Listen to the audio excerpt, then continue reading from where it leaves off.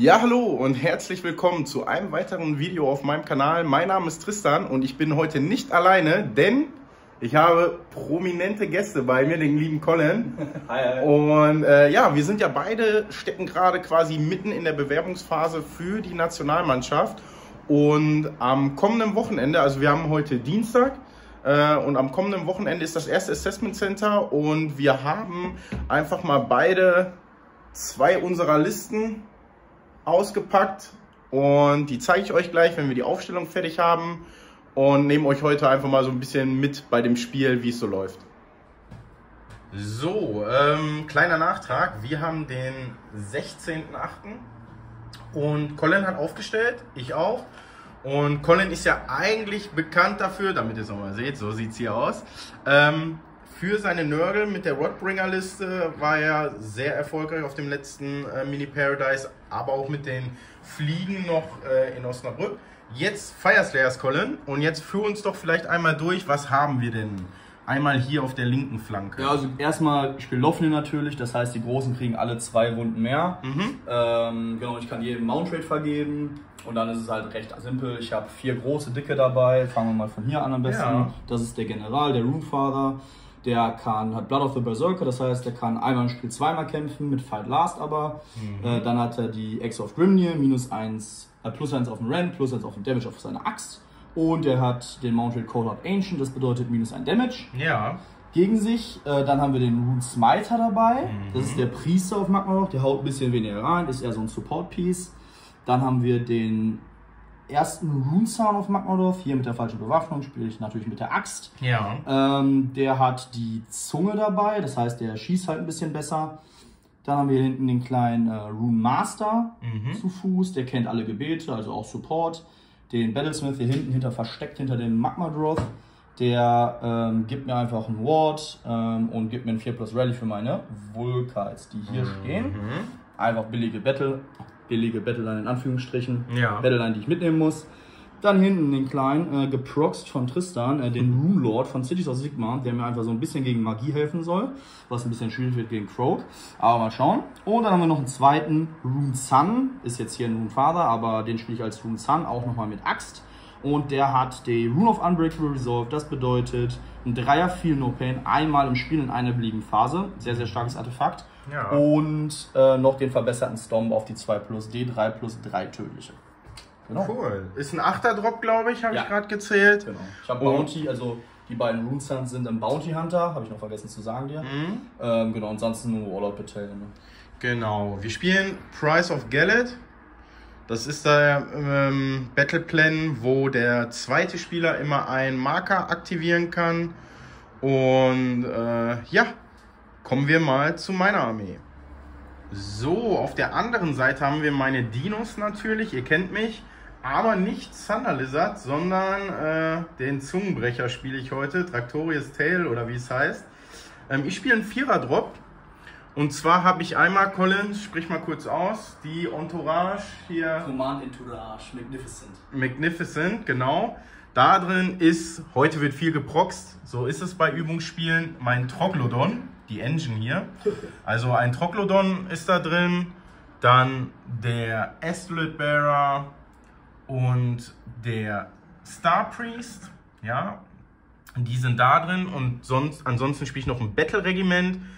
Auch hier seht ihr, Lord Croak ist auch geproxt, genauso wie die Pyramide. Aber wie gesagt, ähm, die ganzen Sachen sind noch auf dem Weg. Dann spiele ich einen großen 30er Blob Skings, einen 20er Blob und einen 10er Blob. Ich habe noch einen normalen Priester dabei, fünf Saurus Guard, die Croak beschützen, falls mal äh, ich auf Fernkampf treffen sollte.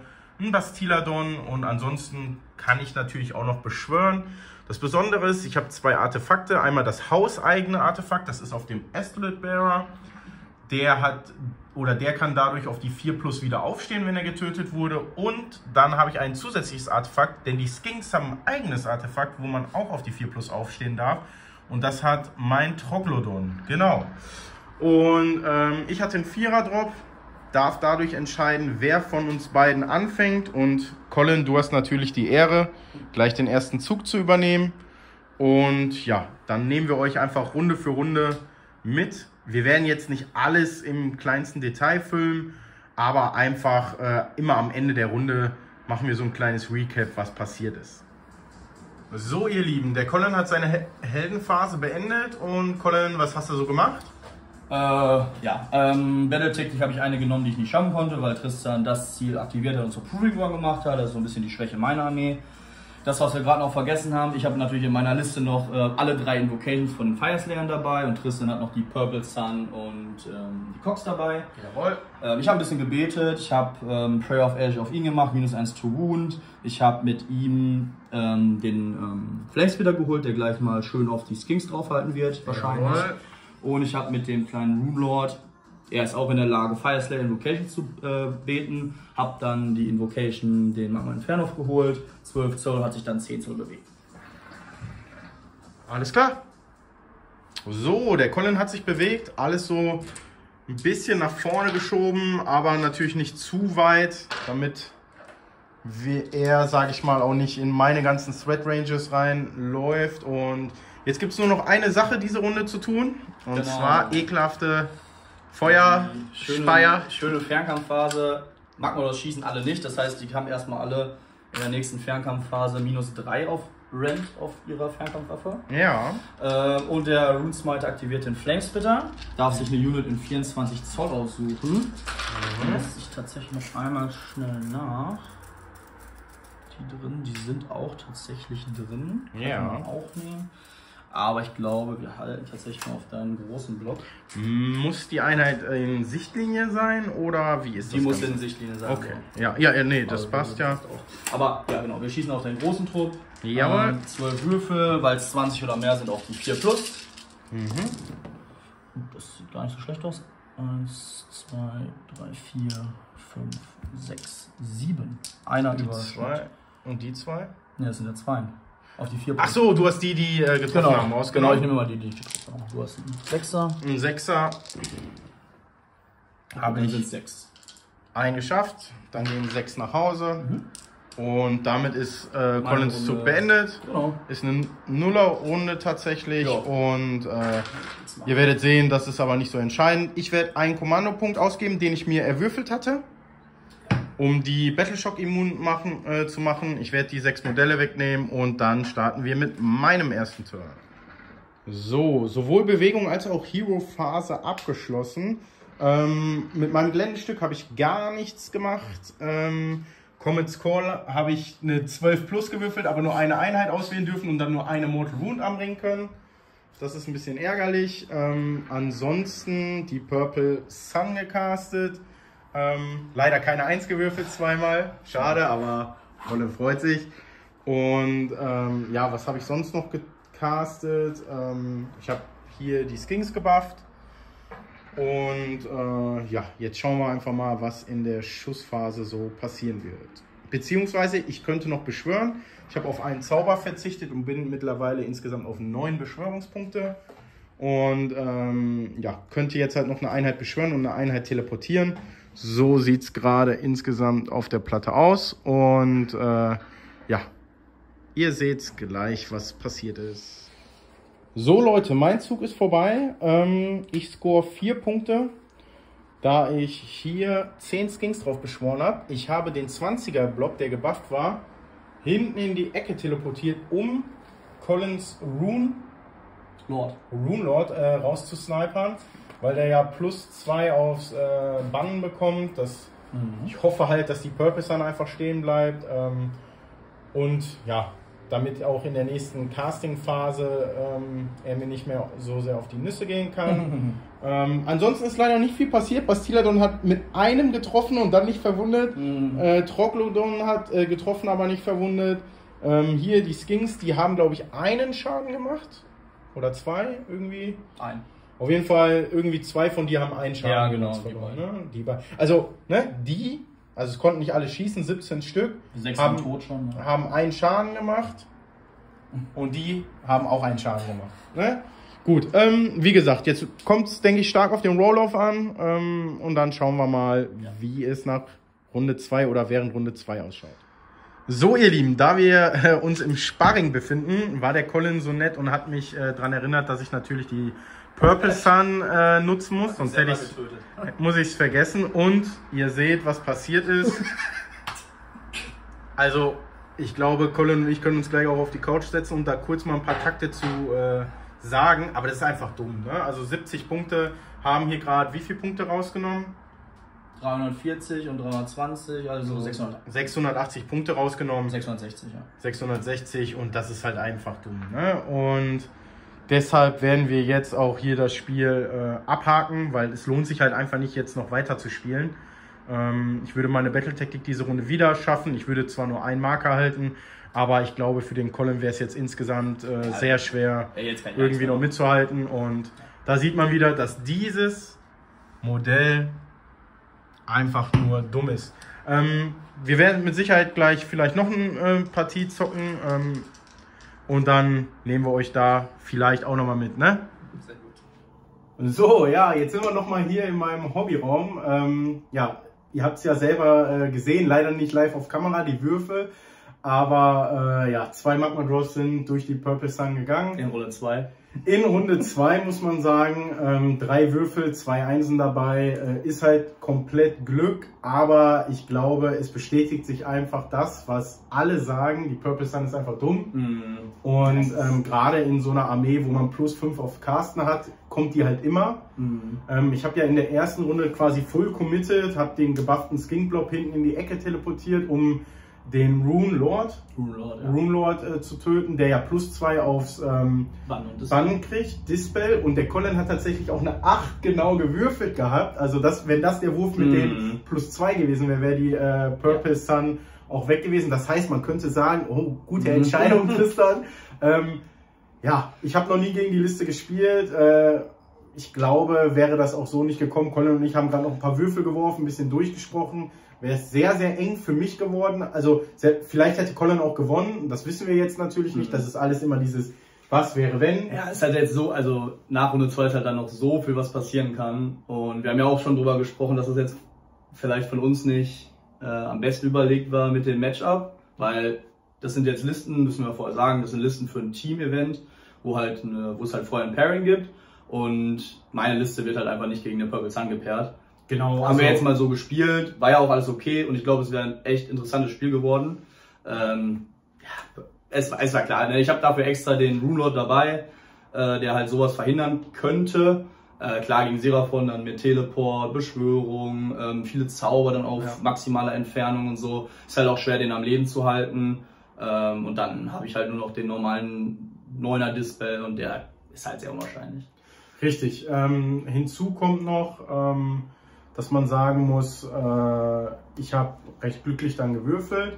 Ähm, aber ähm, was Colin sa euch sagen möchte, wenn wir für die Worlds trainieren, haben wir acht Spieler, wo nur einer die Purple Sun spielen kann. Also auch im Gegnerteam spielt nur einer die Purple Sun. Das heißt, wenn Colin die Fire Slayers spielen würde, würde er niemals gegen die Purple Sun spielen. Das ist auch ein Grund, warum ich jetzt in meiner Liste zum Beispiel nicht die allseits bekannte Nullsidian Icon drin habe auf dem Battlesmith, der mir noch den Vierer Spell und Endless Spell Ignore gibt. Haben wir gerade gewürfelt, hätte mir auch nichts gebracht, weil ich Ja. nicht die vier schaffe. Aber das ist der Grund, weil ich weiß, okay, im Team-Event werde ich normalerweise mit der Liste oder sollte ich nicht gegen die einzige Purple Sun aus acht Listen gepaart werden. Und dann ist es halt okay. Wenn das passieren würde, dann würden wir alle den Tobi eins auf die Mütze geben, weil das wäre schlecht gepaart. Und dem Coach und, und dem den Captain. Coach und den Captain, genau. Nee, aber äh, ich glaube, insgesamt hat man einfach gemerkt, dass dieser Endless Spell komplett drüber ist. Ähm, ich meine, das war jetzt mein fünftes Spiel und das erste Mal, dass sowas passiert ist. Ähm, nichtsdestotrotz äh, habe ich auch schon über Twitter bei ähm, anderen YouTuber-Kollegen, sage ich jetzt mal, aus dem Ausland gesehen, wie dann zwei More Crusher gegangen sind. Ähm, beim Mini Paradise Turnier waren ja auch so Sachen, dass ich glaube sogar mal Ar nee, Nagash oder Mhm. Archeon irgendwie äh, gefressen wurden. Das ist einfach dumm und das versaut das Spiel und ich glaube, es gibt aktuell zwei Dinge, die ich finde, die haben nichts im kompetitiven Bereich, aber auch privaten Bereich verloren. Das ist einmal die Purple Sun und die Kronspine. Also ich finde, das sind einfach zwei Dinge, ähm, darauf könnte man verzichten und äh, deswegen wird dieses Video jetzt auch kürzer als gedacht. Schade. Ähm, trotzdem, Colin und ich, äh, wir werden jetzt noch schön entspannen, äh, eine Pfeife rauchen, dann was essen gehen, weil ihr wisst ja, Colin äh, kommt ja gebürtig aus äh, München gerade, also gebürtig aus dem Ruhrgebiet, aber ist ja in München, äh, ist jetzt zu Besuch. Das heißt, wir lassen es uns jetzt noch gut gehen. Dann haben wir in ja, knapp vier Tagen unser erstes Assessment Center, wo wir auch hype drauf sind, muss Und man sagen. Und dann gibt es die Revanche. Dann ja, ich hoffe, wir spielen zusammen. Ich hoffe, wir spielen zusammen. äh, mal gucken, was sich die äh, Kollegen da äh, einfallen lassen. Und da werden wir euch natürlich mitnehmen. Jetzt, wo ich dich schon mal hier habe, Colin, mhm. ähm, jetzt ist ja auch in den letzten Tagen ein bisschen was passiert wieder bei uns. Ne? Als Spieler hatten wir ja quasi ein paar Hausaufgaben so, zu erledigen. Ja. Jetzt, wo ich dich schon mal hier habe, können wir ja mal drüber sprechen. Was mhm. mussten wir denn jetzt machen oder haben wir beide ja auch in den letzten Tagen äh, gemacht? Mhm. Also angefangen hat das ja mit den ähm, zwei Listen abschicken, die möglichst alle Battle Plans abdecken sollen aus dem neuen GHB. Einfach damit ähm, ja, der Mannschaftsrat so ein bisschen sieht, ähm, wie man auch Listen bauen kann und ob man dazu in der Lage ist. Ähm, genau, und dann ging es halt darum, dass alle Listen öffentlich gemacht wurden und wir als Spieler für jeden Battleplan von, für unsere Armeen halt eine Einschätzung abgeben sollten und für jede gegnerische Liste ähm, von 1 bis 5. 1 ist dabei, ähm, ja, dass man so ungefähr 0 bis 3 Punkte holt. Genau. Und äh, die 5 wäre dann ungefähr 17 bis 20 Punkte, also ein großer Sieg. Ähm, was man natürlich dabei sagen muss, ist, man, dass wir uns nur die Listen angucken und wirklich nur die Battle Plans ohne irgendwelche anderen Einflüsse, genau. so wie welcher Spieler spielt genau. das und Würfel und so weiter. Ne? Genau, und äh, bei den Einschätzungen zu den Battle Plans, da geht es halt darum, einfach so Kriterien wie, wie mobil ist meine Liste, kann ich teleportieren, kann ich beschwören, ähm, das heißt, die äh, Szenarios mit mehreren Markern, kann ich die erfüllen, wie sieht das aus, wenn zum Beispiel nur drei Marker sind, ich selber aber kaum äh, GV-Einheiten genau. im, im, äh, im, in der Armee habe. Das ja, ist natürlich sehr schwer. Was wir jetzt auch gespielt haben, Price of Gallet, wenn ich habe jetzt, es ist jetzt zum Beispiel auch ein etwas schlechterer Battleplan für meine Liste, ja. weil ich halt nur eine Veteran Unit dabei habe und wenn der Gegner dann schon niedrigen Drop hat, so wie Tristan hatte, mir den ersten Turn gibt, sagt dann ja, das ist das Ziel, was aktiviert ist und das wird Proving Ground. Ich kann mit 10 Vulkans nicht drei Ziele abdecken, ähm, wegen der langsamen Bewegung. Genau. Und dann habe ich, score ich halt in Runde 1 0 Punkte. Und tatsächlich hätte ich ja jetzt in Runde 2 auch noch deinen, den du freigesetzt hast hinten bei dir. Ja, aber den, hatte ich, den hatte ich ja schon. Ah, okay, dann ist das, das egal. Geht nicht, genau. Okay, ja. ja. wieder was gelernt, ne? so, so geht's. ähm, genau, und dann haben, hat halt jeder die Listen abgeschickt und dann ging es darum auch, dass zum Beispiel der Colin seine beiden Listen gegen meine beiden Listen äh, einschätzt, auch mit einem kleinen Kommentar, was so die Gedanken dahinter sind. Und im Assessment Center wird es dann, wir wissen es nicht, aber ich meine, wir sind ja auch nicht auf den Kopf gefallen, ähm, dann wird es ja wahrscheinlich danach gehen, wie haben wir unsere Listen in gewissen Matchups eingeschätzt. Dann werden wir gewisse Matchups oder mit gewissen Matchups konfrontiert. Also das heißt, äh, der Max, der Tobi, der Manu und auch der Wolfgang, die werden sich natürlich Gedanken gemacht haben, das Ganze äh, analysieren und dann uns in Situationen zwingen, wo ich jetzt zum Beispiel, weiß ich nicht, gegen Colin mhm. gesagt habe, meine Liste äh, ist eine 2, das heißt, äh, zwischen vier und sieben, sieben Punkte. Und dann wollen die einfach sehen, hat der Tristan, kann der das gut einschätzen oder auch der Colin vielleicht im Gegenzug gut eingeschätzt. Ja. Ähm, ich kann euch sagen, sind witzige Sachen. Wir konnten äh, auch schon sehen, wie andere Spieler ihre Listen eingeschätzt haben. Äh, da gehen liebe Grüße raus an Hansi. Da in unserem Matchup haben wir uns beide irgendwie schlecht eingeschätzt, aus verschiedensten Gründen. Ähm, also da bin ich eigentlich äh, heiß drauf, gegen zu spielen, um zu sehen, ob ich mich komplett verschätzt habe oder der Hansi. Ähm, ich werde euch natürlich mitnehmen. Äh, Colin und ich werden auch gemeinsam äh, hinfahren mit äh, Dempo noch. Liebe Grüße der Haus nach Bochum an die Kellerkinder. Und äh, ich nehme euch damit auf den Weg, ähm, so gut es geht natürlich. Ist für mich auch das erste Mal. Ich weiß jetzt nicht, wie sehr ich da eingespannt sein werde, aber ich versuche euch so transparent wie es geht, ähm, viele Dinge mit auf den Weg zu geben.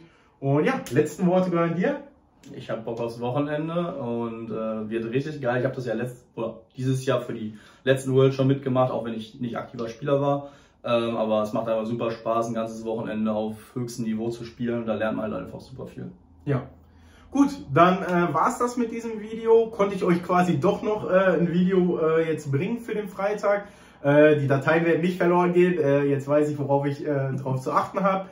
Ähm, Wenn es euch gefallen hat, lasst einen Daumen nach oben da, abonniert den Kanal, wird mir helfen und äh, ist auch immer schön als Content Creator, ähm, wenn da Feedback kommt von den Leuten, dann weiß man, äh, dass es den Leuten gefällt oder auch nicht. Ne? Also wenn ihr sagt, ey, das war jetzt eigentlich, das Video hättest du dir auch sparen können, dann ähm, weiß ich das auch für die Zukunft. Aber ich bin halt so jemand gerade ähm, aktuell, ich konsumiere halt jeglichen Content gefühlt im deutschsprachigen ja. Raum. Deswegen finde ich, ist das nicht verkehrt. Und ansonsten, äh, ja, ich hoffe, bei euch ist es nicht so heiß wie bei mir hier in der Bude. Das ist nämlich eine Katastrophe. Und äh, schönen Tag noch. Ciao, ciao.